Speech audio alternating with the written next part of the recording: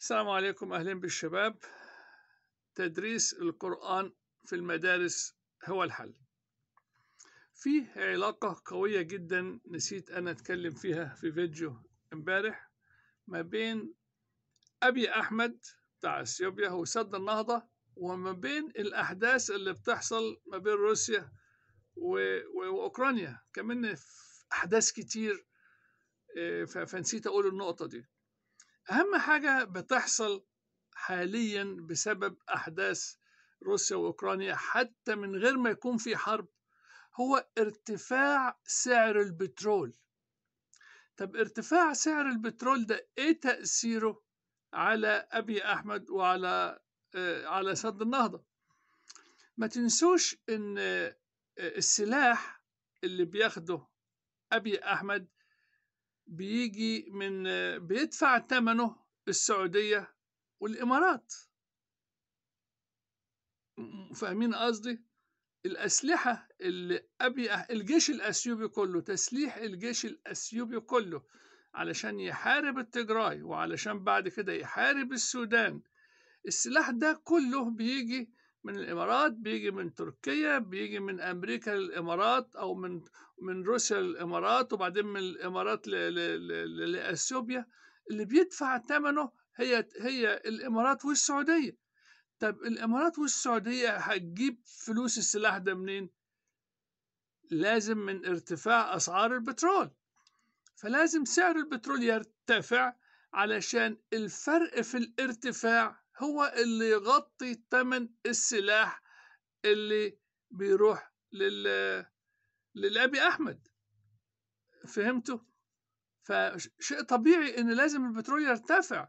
يعني حتى من المتوقع إن البترول يوصل 110 ليه؟ لأن أبي أحمد محتاج سلاح كتير. لسه لازم يعلن حرب شاملة على التجراي. لسه لسه التجرأي لازم حرب لازم حرب شاملة على التجرأي. الحرب دي محتاجة سلاح. وبعدين لازم تاني هيحارب السودان. وحرب السودان محتاجة سلاح أكتر. فهمتوا؟ فل- فلازم سعر البترول يرتفع أكتر وأكتر علشان السعودية والإمارات يكون عندهم فلوس كافية يشتروا السلاح اللي هيدوه ل- ل- ل- لأثيوبيا. فهمتوها؟ يعني آه، النقطة دي أنا ما, ما, ما اتكلمتش فيها نسيت بصراحة عشان كده حبيت أعمل لها الفيديو ده. ولو الناس لحد النهاردة ما هياش فاهمة اللي بيحصل إن إن إن الإمارات بتساعد مصر مش ضد مصر يبقوا يبقى دول ما أعرفش أنا هيفهموا إمتى يعني. الحاجة التانية بالمناسبة برضو أحب أقولها زي ما قلت قبل كده في فيديو قبل كده اللي اسمه إبراهيم الشرقاوي ده.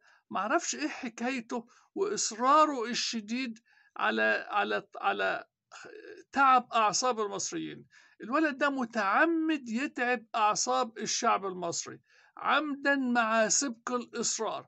مفيش فيديو من فيديوهاته إلا ويقول هيكون في ملء ثالث 12 مليار 18 مليار 20 مليار هيعلي الممر الوسطاني ل 695 ل 595 ل 615 يعني عنده حالة آه، يعني عنده حالة تعمد إنه يعصب الشعب المصري.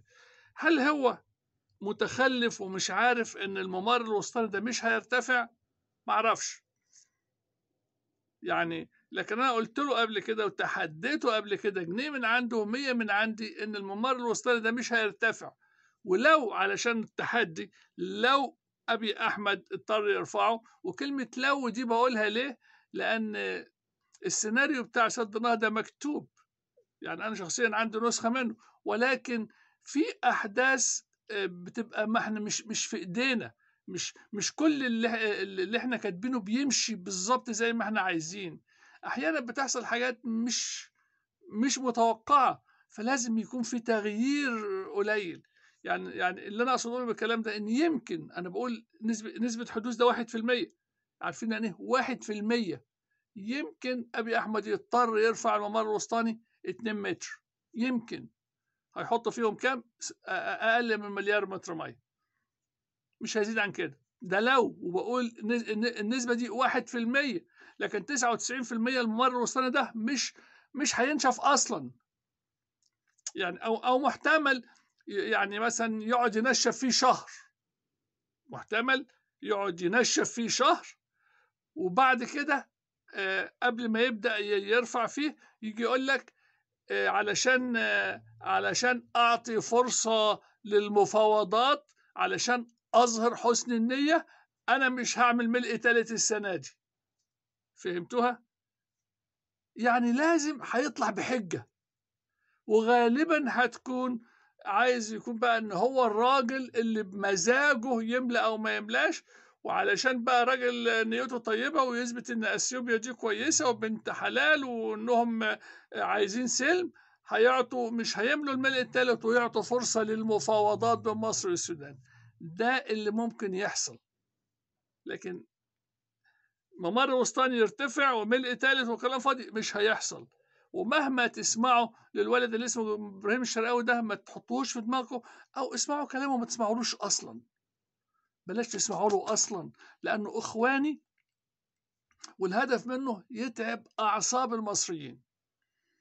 وأنا بقالي أربع اشهر ست اشهر بحاول أفهم الناس في ناس بتفهم لكن في ناس برضو قلقانة. يعني كلها يعني كلها أسبوعين ثلاثة وتبان الحقيقة. كلها أسبوعين ثلاثة وتبان الحقيقة. ليه؟ لأنه لو ما بدأش ينشف الممر الوسطاني في خلال أسبوعين يبقى خلاص. يبقى النتيجة بانت. فما تقلقوش يعني أنا بقول للشعب المصري ما تقلقوش. ثقم في, في, في القيادة السياسية بتاعتكم. بلاش تثقوا فيا. ثقم في السيسي. ثقم في القيادة السياسية. خلاص؟ تصبحوا على خير. جالي مجموعة من الأسئلة منهم نفس السؤال اللي أنا جاوبته أكتر من مرة. بقول للناس الجداد يا ناس أرجوكم شوفوا الفيديوهات القديمة علشان ما أحبش أجاوب السؤال نفس السؤال أكتر من مرة. شوفوا الفيديوهات القديمة. أي واحد مشترك جديد أرجوكم ارجعوا شوفوا الفيديوهات القديمة. يعني واحد برضو سأل نفس السؤال اللي أنا جاوبت عليه قبل كده. أنا ليه الأول قلت إن بوتين مش هيقتحم أوكرانيا ودلوقتي بقول بوتين هيقتحم أوكرانيا؟ يا جماعة أنا ما قلتش إن بوتين هيقتحم أوكرانيا. عمري ما قلت إن بوتين هيقتحم أوكرانيا. أنا قلت إن كل ده مجرد فيلم علشان تخويف الصين ولكن في نفس الوقت بوتين له طلبات مش كتير. أنا قلت الطلبات بتاعته. عايز تأكيدات إن لما أوكرانيا تخش ناتو الناتو مش هيطالب بعودة شبه جزيرة كرايميا اللي بتقولوا عليها القرم بالعربي عاوز حكم ذاتي لإقليم دونباس. علشان لم برضو لما أوكرانيا تخش الناتو يقوم إقليم دونباس ينضم لروسيا. يعني هو بوتين عايز يقصقص في أوكرانيا حتة حتة كده. يقول لها طالما أنت رايحة لأوروبا يبقى ناخد حتت منك. فهو ده اللي بوتين هي هيعمله. هو فعلا الرئيس الأوكراني ما بيفهمش في السياسة كويس ومخه ناشف ومش هيوافق على أي حاجة من دي. علشان كده تلاقي تحس بالتصعيد. يعني أول تصعيد كان إن في كوبري اتبنى لعبور الدبابات ده برضه تصعيد. ولكن الظاهر إن الكوبري ده ما جابش نتيجة مع الرئيس الأوكراني لأنه فاهم كويس إن بوتين مش هيعمل حاجة. ففي تصعيد تاني تلاحظ إن إن روسيا عملت تسريب لمخطط غزو أوكرانيا. كل الكلام ده مش هيدخل دماغ الرئيس الأوكراني. أنا بتوقع إن الرئيس الأوكراني مخه وسخ وهيفضل متمسك برأيه إنه مش هيعطي أي تنازلات. وبالطريقة دي يبقى غصب عن بوتين وغصب عن جو بايدن إن لازم تحصل ضربة عسكرية لأوكرانيا. لأن ما ينفعش ابدا ان إن رئيس جديد زي أوكرانيا يطلع بوتين حمار ويطلع بايدن حمار. ما ينفعش. فعلشان كده غصب عن يعني بوتين مش عايز يضرب ولكن الرئيس اضطر يضرب لأن الرئيس الأوكراني طلع جاهل ما ما بيعرفش يلعب شطرنج. أنا قلت قبل كده لما بتلعب شطرنج مع الرئيس بتاعك لازم تنهزم حتى لو أنت أكتر منه حتى لو أنت أشطر منه لازم تنهزم له. فهمت؟ فإيه اللي هيحصل؟ اللي أنا بتوقعه إن هيحصل ضربة جوية ولكن هتكون ضربة جوية قوية. وفي نفس الوقت هيحصل زحف بالدبابات وهتقف على الحدود الأوكرانية مش هتخش. وسبب الزحف بالدبابات ده إن يبان للرئيس الأوكراني إن فعلا بوتين هيزحف وهيخش أوكرانيا. وهنا بقى هتلاقي أوروبا وأمريكا وقفت على حيلها والسلاح النووي الأمريكي اتحرك والسلاح النووي الأوروبا اتحرك والعالم على شافة حرب نووية وكل ده فيلم. مفيش من الكلام ده أي حقيقة. ده فيلم مرسوم ما بين أوروبا ما بين أوروبا وأمريكا وبوتين. السلاح النووي هيتحرك بحيث إن بوتين مش ما يدخلش بالدبابات. وهنا أقول لك وقف إطلاق النار ونعمل محادثات مرة تانية. فاهمين معايا؟ يعني أراهنكم أراهنكم هتبص تلاقي السلاح النووي اتحرك في أمريكا وفي روسيا. أصلا روسيا بت بت بت بت بتلوح اوريدي بالسلاح النووي. هتبص تلاقي تلويحات بالسلاح النووي. بحيث إن إن العالم يحس والصين بالذات تحس إن الموضوع جد مش تهريج. وأكيد الصين هتنضم لروسيا هي كمان وهتشجع روسيا. المهم أول ما هتلاقي فيه تلويه بسلاح نووي هتبص تلاقي مجلس الأمن انعقد وقال لك وقف إطلاق النار ونعمل جولة تانية من المفاوضات. والجولة التانية من المفاوضات الرئيس الأوكراني غصب عنه هيتنازل لطلبات بوتين ليه؟ لأن بوتين ساعتها هيقول هيطالب بعزل الرئيس الأوكراني هيقول أنا مش عاوز الرئيس ده يكون موجود فهيكون في ضغط شديد على الرئيس الأوكراني فغصب عنه هيتنازل ويعطي بوتين اللي هو عاوزه وهيكون غصب عنه قدام شعبه ليه؟ لأن بلده بتدمر ليه؟ لأنه هيلاقي إن أوكرانيا هتدمر فيقول لك لا إما تنازل إما أعطي حكم ذاتي لاقليم دونباس بدل ما أدمر أوكرانيا. ده اللي أنا بتوقعه. الكلام اللي أنا بقوله ده ما هياش معلومات. دي اجتهادات مني. يعني أنا بكون معلومة بقول معلومة لما يكون اجتهاد بقول اجتهاد. خدت بالكم؟ على فكرة قبل ما أنسى الضربة الجوية اللي هتحصل لأوكرانيا أمريكا وأوروبا هتعمل عقوبات على روسيا ولكن العقوبات مش هيكون من ضمنها استخدام السلاح اللي هو بيسموه سويفت. يعني سويفت يعني إيه؟ نظام بنكي عالمي. يعني روسيا يعني يعني معناها خنق البنوك الروسية. يعني لا روسيا تقدر تخرج دولار بره ولا دولار جوه. خنق للاقتصاد الروسي. السلاح ده ما يقدرش أمريكا ما تقدرش تستخدمه.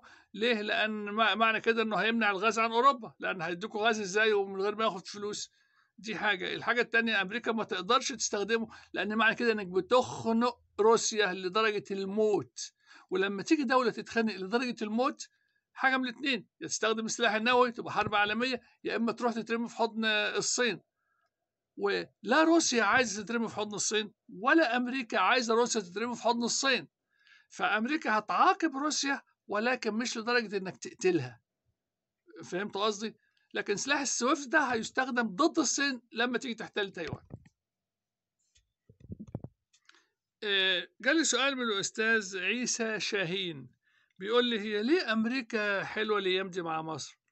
قلت له يا أستاذ عيسى الوضع مختلف دلوقتي. أمريكا دلوقتي ما بقى ملهاش عدو واحد غير الصين. ركزت تركيز كلي على الصين. أمريكا بقت حلوة مع مصر بقت حلوة مع كل دول الخليج بقت حلوة مع مع روسيا لدرجة إن دول الخليج بتشتري أسلحة من روسيا لأول مرة اللي ما يعرفوش أصحاب القنوات يقول لك إن دول الخليج متخانقة مع أمريكا ما عادتش بتسمع لأمريكا عشان كده سابت أمريكا واتجهت لروسيا. ما يعرفوش إن دول الخليج بتشتري من روسيا بناء على تعليمات من أمريكا وأوامر من أمريكا. المشكلة في ناس أصحاب القنوات عاوزين عاوزين انتصار حتى ولو بالزائف. واخد بالك؟ يعني يعني مثلا لما السعودية ما تهتمش بأمريكا وتتجه لروسيا والصين هل معنى كده إن السعودية انتصرت على أمريكا؟ العلاقات ما بين أمريكا ودول والخليج علاقة قوية جدا علاقة قوية جدا بدليل بدليل إن الإمارات والسعودية هم اللي بيدفعوا ثمن السلاح اللي رايح ل لأبي أحمد عشان موضوع سد النهضة. يا جماعة السياسة متشابكة لدرجة صعب جدا إن عامة الشارع يفهمها. الشيء اللي أنا بستغرب له إزاي أصحاب القنوات اللي المفروض إن هم بيفهموا في السياسة ما هماش فاهمين. دي حاجة أنا بستغرب ليها. بقى لي ست شهور بحاول أفهمهم ولكن مصرين ما يفهموش. مصرين! ما أعرفش أعمل لهم إيه دول. المهم العلاقات اتحسنت لأن الوضع اختلف. العالم اتغير. دلوقتي أمريكا محتاجة مصر. ليه محتاجة مصر؟ علشان موضوع سد النهضة.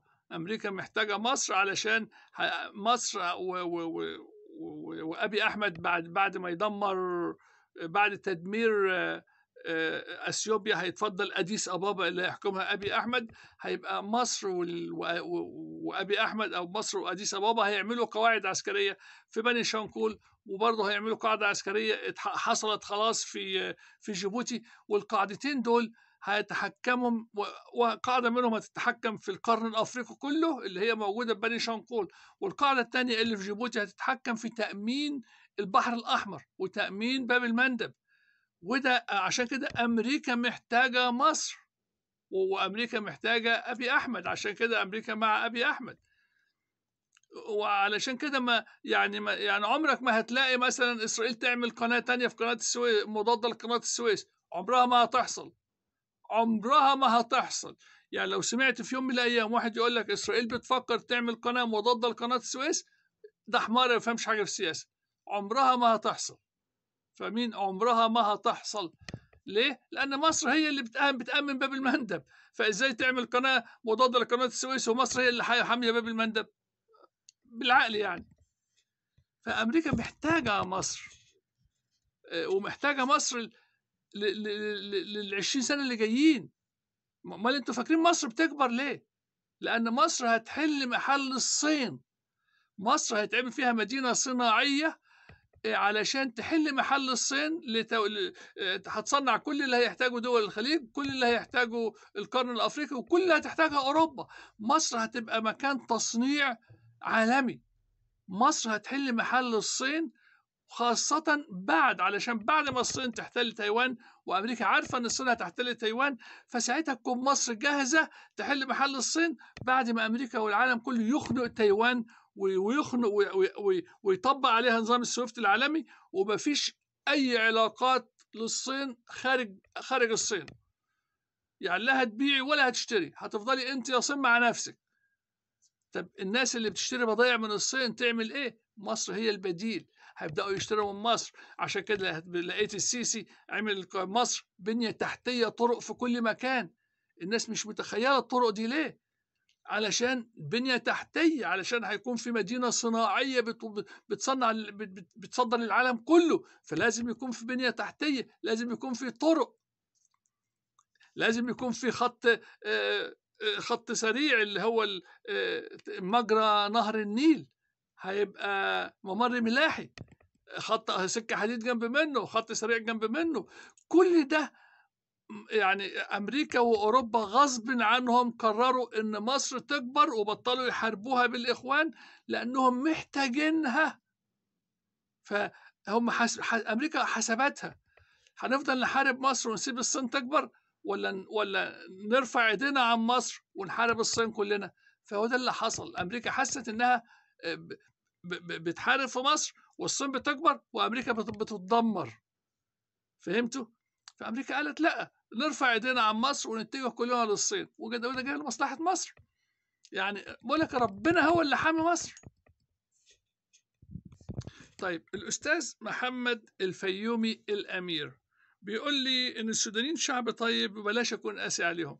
يا أستاذ محمد والله العظيم أنا بحب السودانيين جدا. طول عمري في أمريكا 35 سنة كنت بعتبر السودانيين دول إخوات إخواتنا. كنت بعتبر السودان ومصر دولة واحدة. عمري ما تخيلت إن في كم الحقد والكره والجهل اللي موجود في السودان ناحية المصريين. أنا لما لما حصل موضوع صد النهضة وشفت قد إيه السودانيين بيكرهوا مصر أنا استغربت. والله استغربت. أنا كنت متوقع إن شعب السودان هو مصر شعب واحد. إحنا إخوات إحنا كنت دايما بقول المفروض نكون دولة واحدة. مصر والسودان دولة واحدة. مصر والسودان وجنوب السودان. كنت بتمنى إن مصر والسودان وجنوب السودان يرجعوا دولة واحدة زي زمان. لكن لما شفت كم الكراهية للسودانيين ضد مصر استغربت إيه إيه اللي بيحصل؟ هم الناس دول ما بيفهموش أي حاجة. علشان كده قلت دول دول يعني قعدت أنصحهم يا جماعة اللي بتعملوه ده غلط مش في مصلحتكم. لقيت يعني لما بدأت أنصح فيهم لقيت إن ما بيفهموش. لقيت في كم. كم غريب من الجهل في السودان. فهو ده السبب إن أنا بقيت أهاجمهم يمكن يفهموا. لكن أنا أصلا ما بكرهش السودانيين ده أنا خايف عليهم. ولما سربت لهم يعني أنا قلت للسودانيين أبي أحمد هيحتل السودان هيحصل تقتيل للشباب تقتيل للرجال اغتصاب للستات. هل أنا ده حاجة أنا بتمناها؟ أنا بتمناهاش ولكن ده سيناريو مكتوب. فأنا بقول للسودانيين خلي بالكم ده اللي مكتوب ده اللي هيحصل ليكم.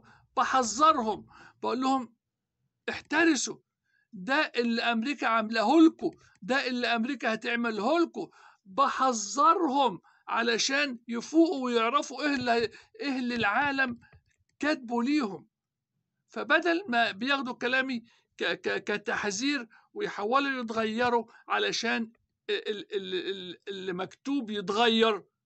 بيهاجموني أنا وبيفتكروني إني أنا بتمنى لهم حاجات وحشة. أنا بتمناش. ده أنا بقول لكم حاجات مكتوبة مكتوبة. يعني لولا لولا خايف إني أتحاكم كنت وريتكم أوراق مكتوبة وممضية. بس مش بايدي آه في قضية أمن قومي مصر بقى هنا دلوقتي. فيه جات لي رسالة من الأستاذ فهمي شتاوي. الأستاذ فهمي شتاوي بيقول إن الصيادين في بحيرة المنزلة بيصطادوا بالكهرباء. لو الكلام ده حقيقي في دي جريمة في جريمة قومية. يعني إيه صياد في بحيرة المنزلة يصطاد بالكهرباء؟ معنى كده إنك بتقتل الثروة السمكية بتدمر الثروة السمكية. أنا قلت يعني يا جماعة لو أي حد عنده فيديو في بحيرة المنزلة أو في أي مكان في مصر أي مجموعة من الصيادين أو أي صياد بيصطاد بالكهرباء ابعتوا لي الفيديو أنا هنشره ويبقى بلاغ للنائب العام لأن دي جريمة في حق مصر دي جريمة قومية دي جريمة أمن دولة فهمتوا؟ فأنا بقول لو في أي حد عنده فيديوهات لأي حد. للصيادين في بحيرة المنزلة أو غيره بيصطاد بالكهرباء ابعتوا لي الفيديوهات وأنا أنشرها. دي جريمة لازم كلنا نحاربها. طيب في خبر كلنا سمعناه إن السلطات في مصر ناوية ترفع سعر رغيف الخبز. أنا شخصيا مع شيل الدعم تماما عن رغيف الخبز وعن كل حاجة. كل حاجة عن مصر ارفع عنها الدعم. ولكن اللي أنا عرفته مؤخرا إن في طبقة في مصر بياكلوا من الزبالة. أظن عيب قوي في حق شعب مصر إن يكون في ناس في مصر بتاكل من الزبالة.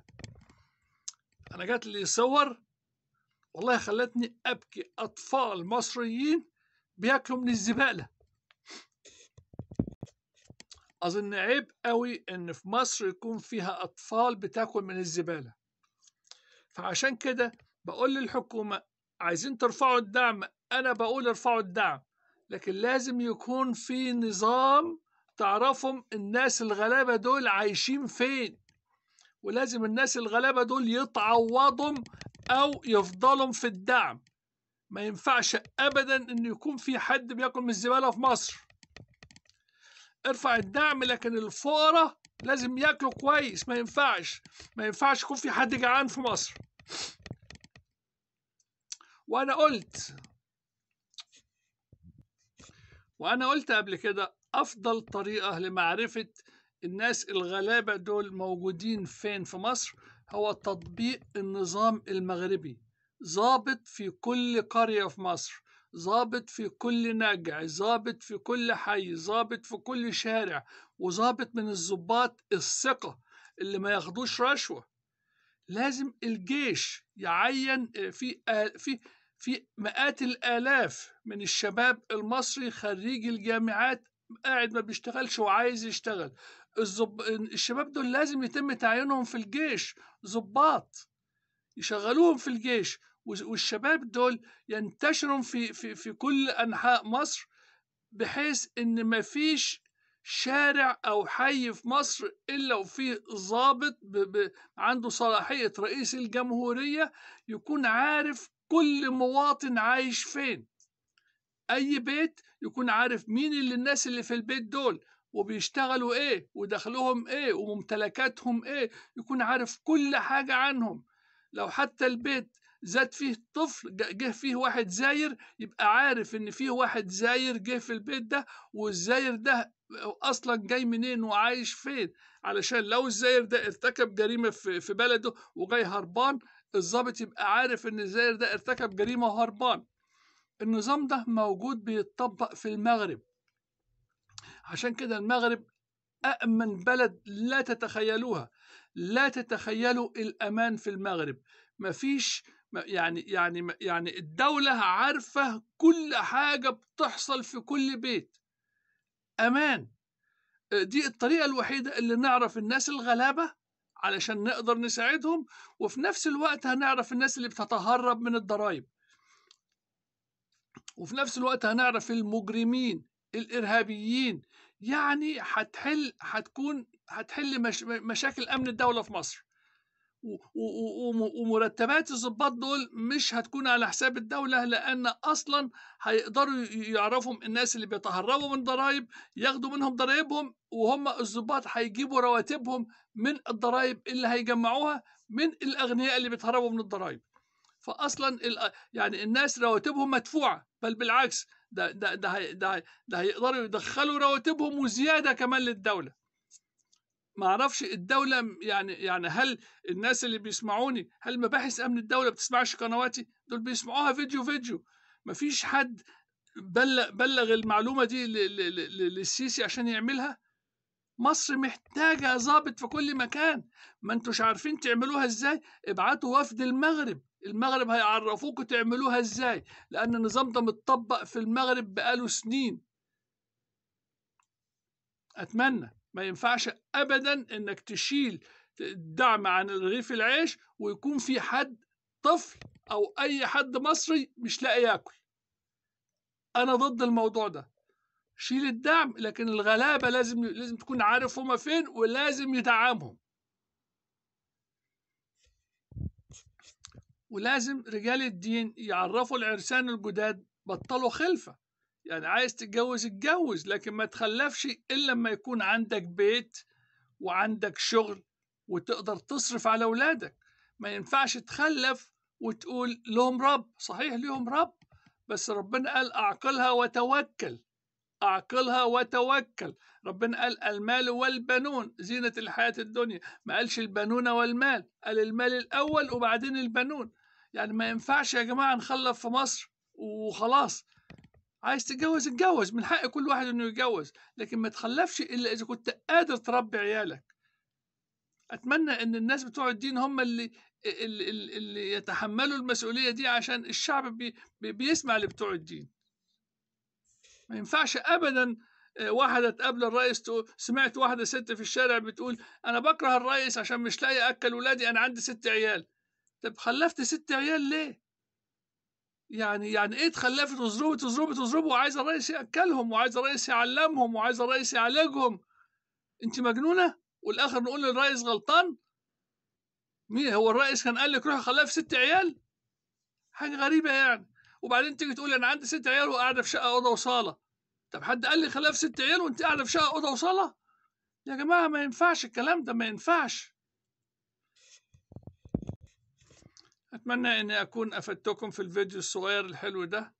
آه بالمناسبة في ناس بتجيلي رسائل اعمل فيديو صغير. أنا ما أعرفش أعمل فيديو دقيقتين ثلاثة يا جماعة. أنا الفيديوهات بتاعتي إن ما كانش فيها معلومات ذات قيمة ما أعملهاش. لكن عشان أعمل فيديو خمس دقايق وفي معلومة تافهة أنا أنا أنا بقى كده هضحك على نفسي. يعني أنا بشوف فيديوهات صغيرة ما فيهاش أي معلومات و, و... و...